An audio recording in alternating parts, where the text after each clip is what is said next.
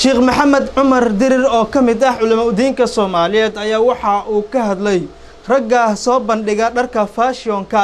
Waxa uuna sidoo kale sheegay in arrintaas ay tahay mid dhibaatooyin ay kala kulmi karaan ummadda muslimiinta. Warbixintaas waxaa magaalada hargeysa ka soo diray waryaheena axmed naasir sheekh beledka magaalada hargeysa sheekh maxamed sheekh cumar dirir ayaa ka hadlay mar uu warbaahinta saxaafadda la hadlayay. Waxa uu ka hadlay bandhig ay dhallinyarada reer somalilan ay dhowaan ku qabteen magaalada hargeysa oo xayisiinta dharka. Waanuu sheekh maxamed sheekh cumar dirir uu dhaliil u soo jeediyey dhallinyaradii ka qayb qaadatay iyo hoteelka lagu qabtay. Sheekh maxamed sheekh cumar dirir isagoo warbaahinta la hadlayay. Waxa uu ku tilmaamay dhaqankaasi inaanay shareecada islaamka ogoleen waxaana uga digay in dhaqankaasi oo kale ay showgaasi oo kale in lagu qabto dalka waana uu isagoo arrinkaasi ka hadlaya sheekh maxamed sheekh cumar dirir hadalladiisii ka mid ahaa. Innaguna maanta waxaynu maraynaa in lagu xaragoodo oo dee macrad dhan loo dhigo oo loo soo shaqo tago oo wax nasiib darro ah weeye aad iyo aad u cajiiba soo maydaan arkaynin inamadii yaryaraa oo muruqyo kuusan oo dhar isku soo gejiyo xubinkoodii taranka halkaa ka muujinaya sida sawirada ka muuqanaysa ayaa hablo aad u badan oo hablaheeniya loo soo fadhiisiiyey yaa madaxda waddanka dumarkooda qaar ka midabaa mashruuc lagu siiyo abaabulayaba daayartii aqoon-yahanka ahayd weeye ee dadka sixi lahayd. Marka habluhuna laba laynoo aad u dhaadheer bay u fadhiyaan. Kabaradana way wada haystaan iyo moobaylo ay ku sawirayaan. Kolba inan baa dabada dhaqaajinaya iyo bawdada iyo inan baa berigii hore dhaqaajin jirtay laakiin inankiina waa lagu soo daray mataqaanaa sheekada inanku halkay ka timi? Waa qowmuluudkay ka timi. Berigii hore gaaladu waxay samayn jireen tartankan quruxda iyo halahan dharka lagu xayey dumarka lagu xayeysiiyo dumarkaa samayn jire.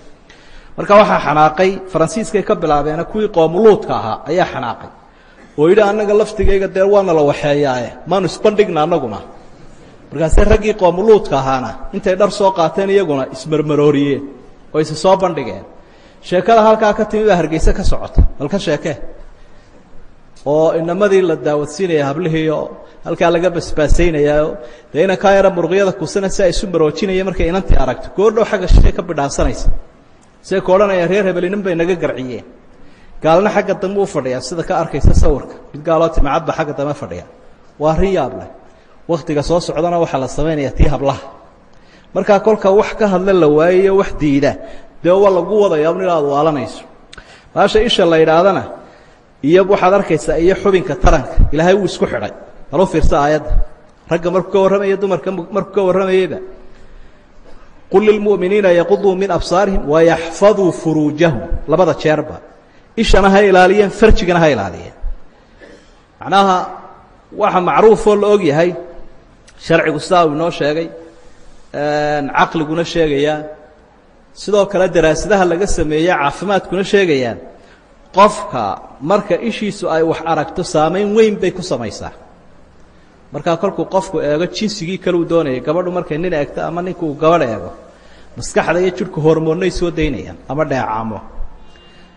Dheecaamadaasoo ah kuwa jinsiga iyo dareenka jinsiga kiciya. Markay dheecaamadaasi yimaadaan qofka waxaa ka lumaya xakamaha dheecaamadu marba marka ka dambaysa way sii badanayaan. Kontaroolkii iyo breegii baa ku yaraanaya maskaxda. Markaa qofka natiijadiisu waxay noqonaysaa inuu ama gabadhaa kufsado ama uu ka sinaysto ama uu biyaha xejin kari waayo iska sii daayo.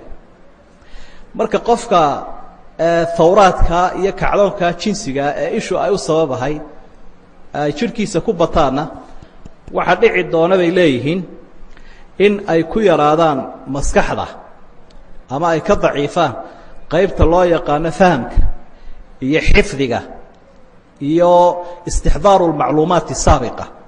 Macnaha kaydkii hore maskaxda uu haystay iyo xusuusta iyo fahamka ila qalbigii meel buu ujeedsaday sidaa daraaddeed ayaa baabkaa ay u fiican tahay in laga xidho bay leeyiin dadka aqoonta ku mashquulsan.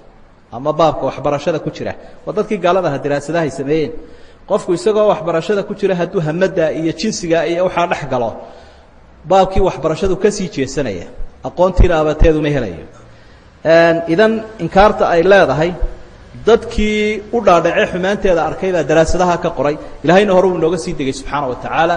Marka arrintu waxay mudan tahay in dadka muslimiintii diintooda ay ku dhaqmaan oo dulnimada noocan ah ay iska daayaan. Taynu taladaynu bixinaynaa waa taa waajibkaee meesha taalla.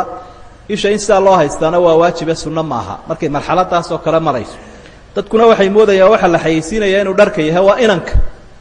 Cabdinaasir axmed xasan telefishka caalamiga african cable t v magaalada hargeysa